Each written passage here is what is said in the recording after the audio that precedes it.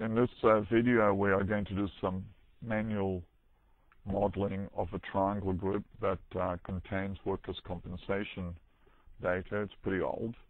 Um, we're going to illustrate um, constraints and uh, also revisit um, model uh, templates. So I'm going to open the database. Open database and then it's workbook 104A.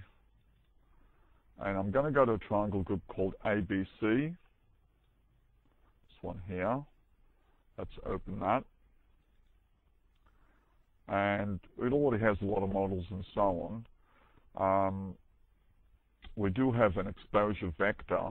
This is real data. So if you go to X inflation premiums, uh, there's something called base. And it's really reflective of uh, wage bills. It's, it's relative to wage bills.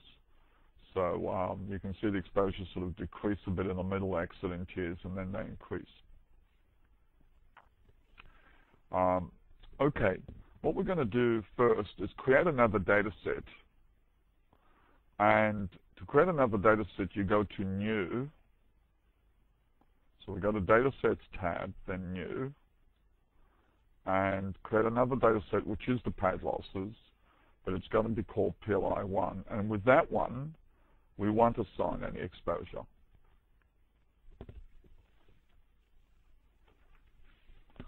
Um, so we're going to go to exposure, downward arrow here, and use none. So how do we know that the base exposure that we're using exposure vector we're using is better than not using any exposure. So what we could do is uh, uh, highlight PLI1, go to PTF, go back to the triangle group with the right button of your mouse on the triangle group tab, in case you can't see it. Select ABC with the left button of your mouse. Highlight PLI and now click on PTF. Now tile vertically minimize regression tables. now, later on we're going to review the model templates, but there's a model in the model templates, one of the models, um, allows to see whether or compare two exposure vectors. Now, the exposure vector that does a better job is the one that more closely reflects changes along the accident years. So with the right button of your mouse, so look at model template. With the right button of your mouse, select all, so that is both, in this case there's only two, and select the separation method. Double click on that, and then again select the separation method. So to both triangles, we've removed all the development year trends, we have a new trend parameter between every two periods, and we've removed all the calendar year trends. We have a new trend parameter amongst all the calendar years. And the reason we want to do that is to find out what happens, what is left over along the accident years.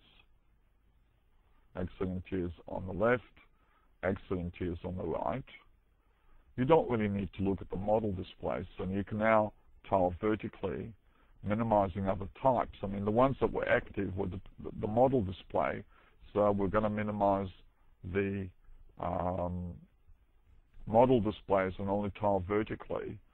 The um, we're going to minimize the model displays, tile vertically the residual graphs. Now, which one has few accident year changes? I think that's the one on the right and the one on the right is the one where we did use exposures. It was PLI. PLI1, that data set, didn't use any exposures, so we feel like all the exposures were equal to 1. So uh, we've now made a decision that we should go with those exposures because they're more reflective in terms of the accident year changes. They're more reflective, but they still don't explain all the accident year changes. Okay, so let's now close all regression tables close all regression tables. So we're back to the triangle group.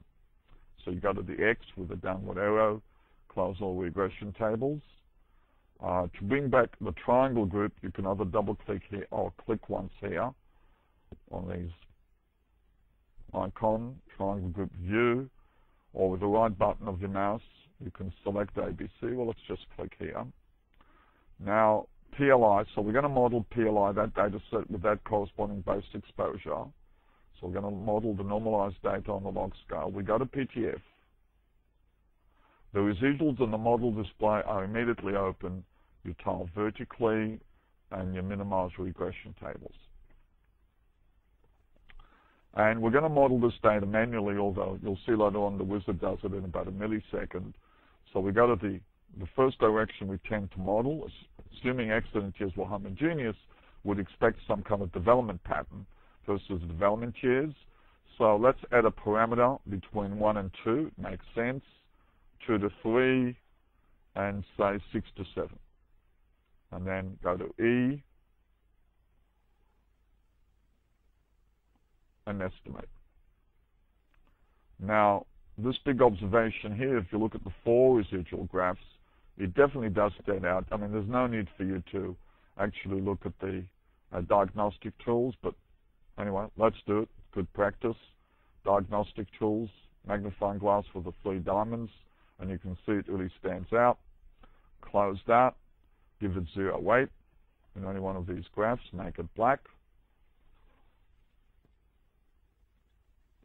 Estimate. Add another parameter between 5 and 6. Estimate. The direction you tend to model now, whether should you tackle accident years first or calendar years, is the display from the right that has more changes. So it seems like the more changes in the early accident years than are in the early calendar years. So now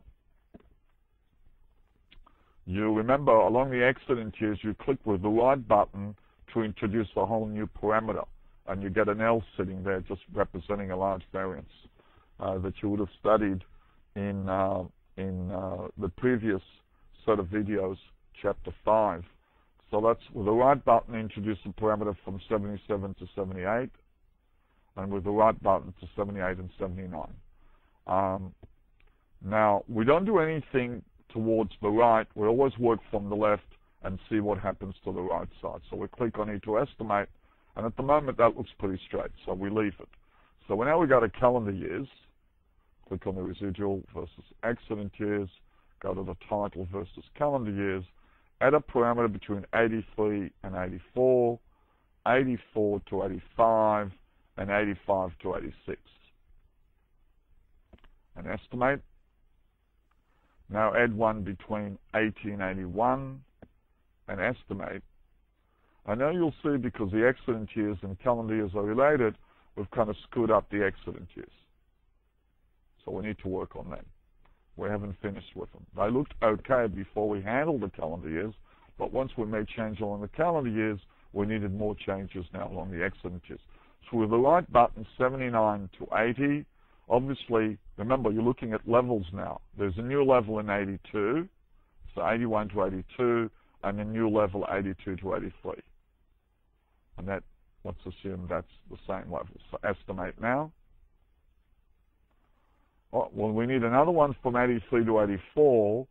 84 and 85 are the same level, but a new level, 85 to 86. Don't do anything between the last two sets of, uh, of years, 86 and 87 estimate, and that looks pretty straight. Now, if you look at development years now, it seems like you've got to add a parameter from 7 to 8. I guess in all directions that looks pretty straight. No, well, well let's let's be uh, uh, let's be um, not cheap. Add one from four to five. Okay, let's now save this model as before optimized.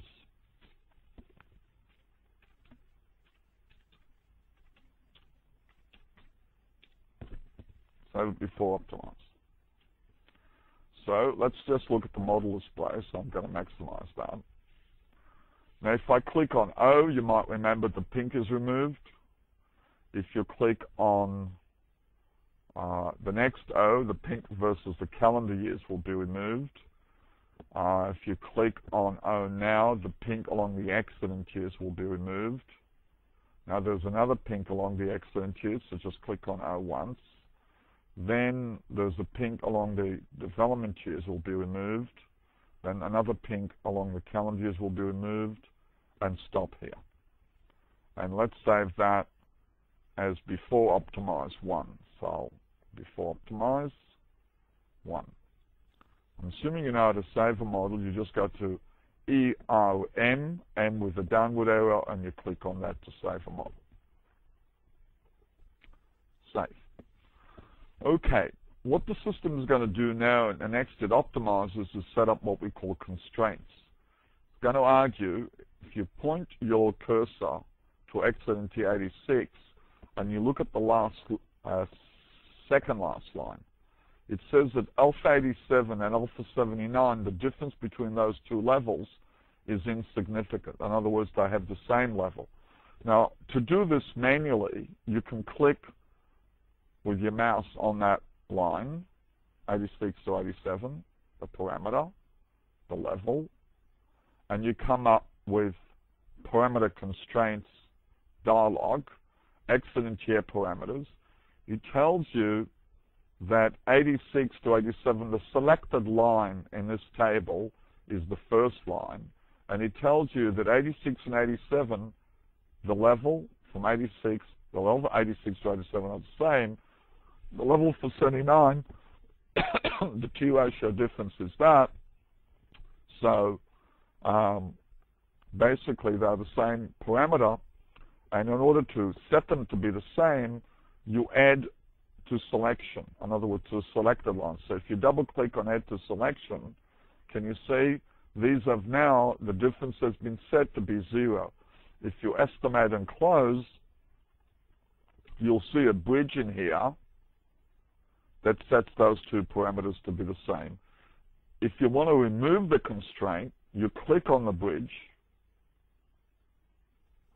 and then you can double click on separate. Or given there's only one constraint, you can say remove alpha constraints. You'll remove all of them. In this case, it's only one. And then close, estimate and close. Now, if you click on O now, it will do it itself. Then it's going to set up another constraint. Okay. And I think O again it didn't set up constraints. So I want to run the previous model.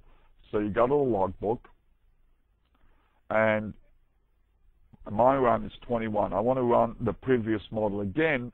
I just double click on that row in the um, in the logbook. So let's double click. So that's the previous model. Let's save that as before optimized to say.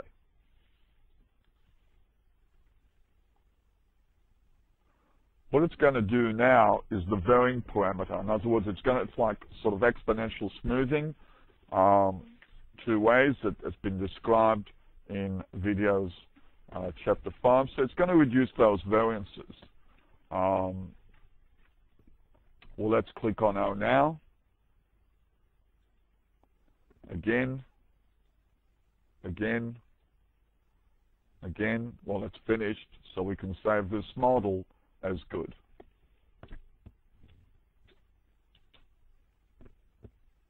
Oops. Oops. Good. Okay. Now, let's suppose you load the model before optimize. So we go to lo load model, and with the upward arrow here, second from the left under the PTF, and uh, load before optimize. If you just click on double O, it'll get you the same position.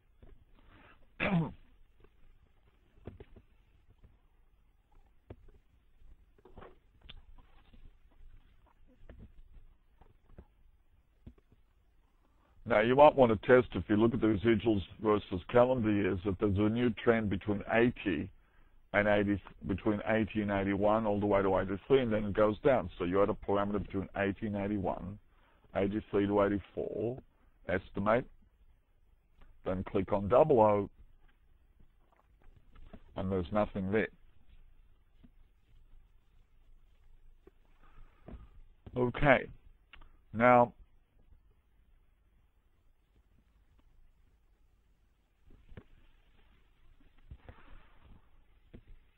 let's revisit the um, model templates. So you go to model templates, there are these models here. The default model when you enter the P, uh, PTF module is one parameter in each direction, which we call the single gamma with inflation. Let's estimate the single gamma model. Well, that just has one development year trend, one alpha parameter, and inflation has been set to zero. Okay? You could regard it as the kind of starting model, but as soon as you see that, it sort of tells you, hey, how about if we also have a calendar year trend? So, um, not to waste so much time, although I guess we don't waste so much time anyway because everything's pretty fast with the system. The starting model in PTF is the next one, which is single gamma model with inflation. Which, if I cancel this, we could do this manually by just adding a parameter between 77 and 78 on the residual graph, and you estimate. So that's really the starting model, and then you use that to build a model. Okay, what about the next one, model templates? It's the Cape Cod. What does that do? It just removes all development year trends to see what's left over in the other two directions. So you can see that the residuals versus development years, that one is zero. These two average to zero. They will always average to zero if you add up the residuals in any column because you've measured the average trend between every two development years.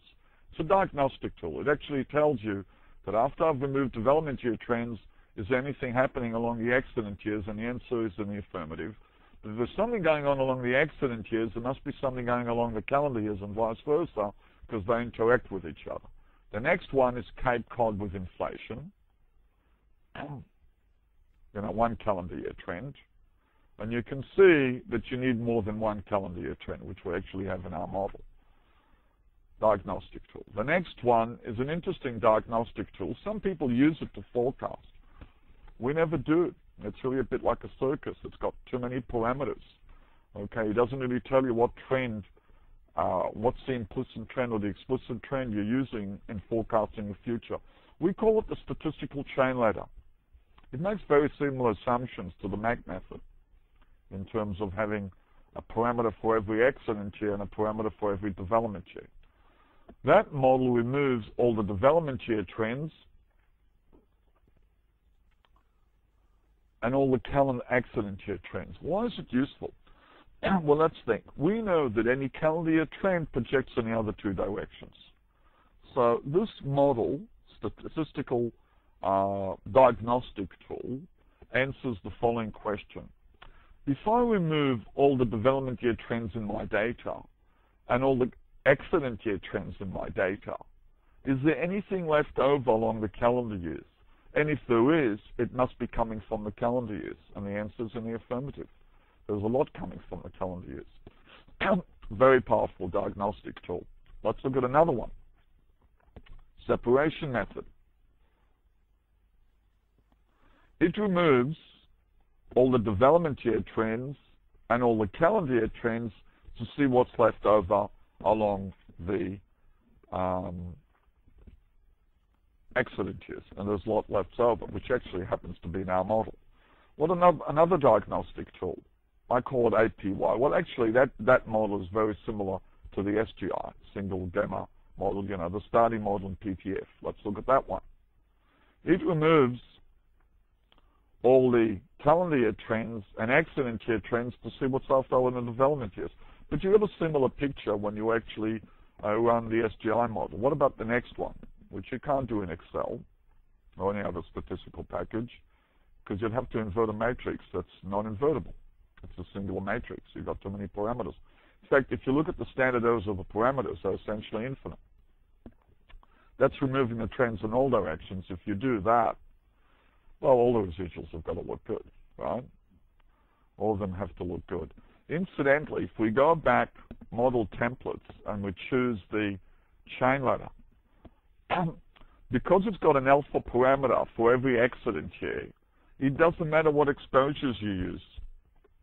The exposures will go into that parameter. The residual. If I change the exposures, uh, if I go to, let's do it, go back to the triangle group ABC.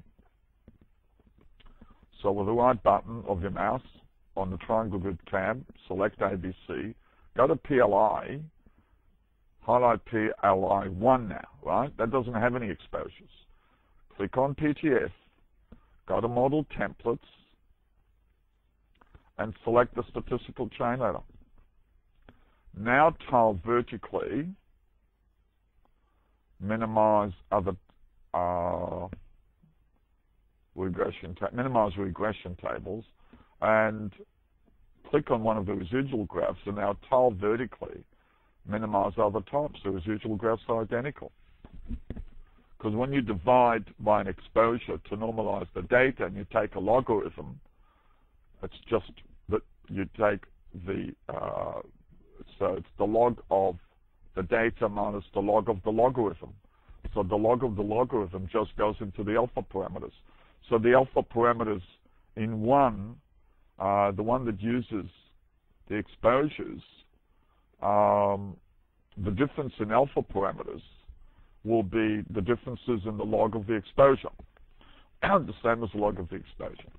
Okay, thank you.